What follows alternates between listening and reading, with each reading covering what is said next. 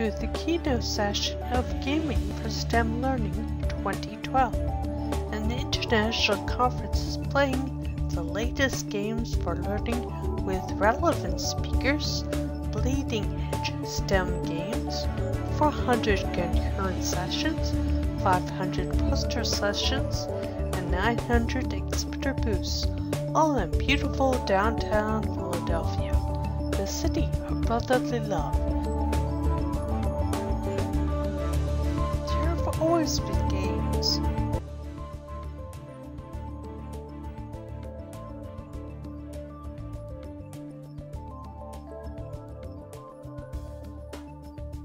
Now in Second Life alone, there are the virtual medical doctor, the stomach museum, the virtual CT scanner room, and the virtual 3D medical diorama. That's Second Life alone.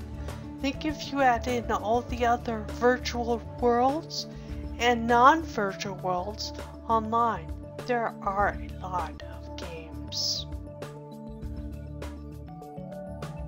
The future is coming whether you like it or not.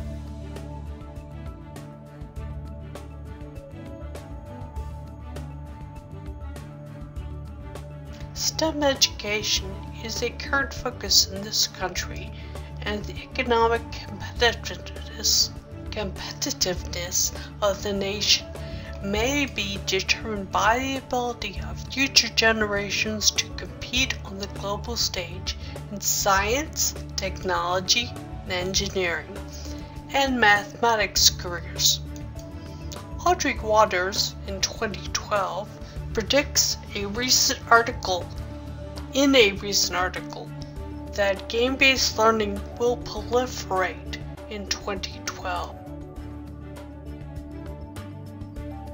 In current research, Chris Dede predicts virtual game-like environments will help shape learning during the next 10 years. We are participating in a reality which is different from that of everyday life that we're used to. Mindshift identified three trends in the future of education digital delivery, interest driven content. This is where critical thinking, communication, and collaboration games are an effective way to impart these skills.